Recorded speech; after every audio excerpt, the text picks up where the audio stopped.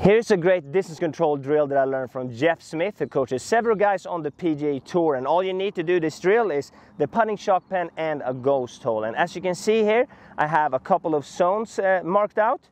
We have a one foot zone between these lines, a two foot zone between these lines, and a three foot zone between the outside lines. And you're going to be hit putts from 10, 20 and 30 feet and try to stop the ball within 10% of the distance that you hit from. So from the 10 footer, you have to stop it within the one foot zone, the 20 footer between the two foot zone, and the 30 footer within, within the three foot zone.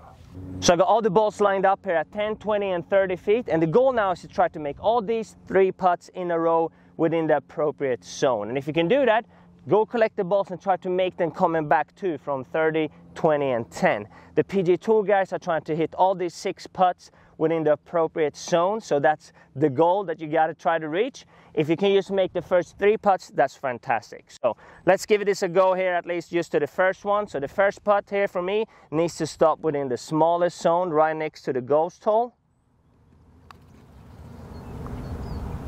Boom, I, I, did really well there. So there I would continue to the 20 footer and then the 30 footer and then go get the balls and try to make them coming back too. So give this drill a go. It's a tough one, but it will definitely help your distance control.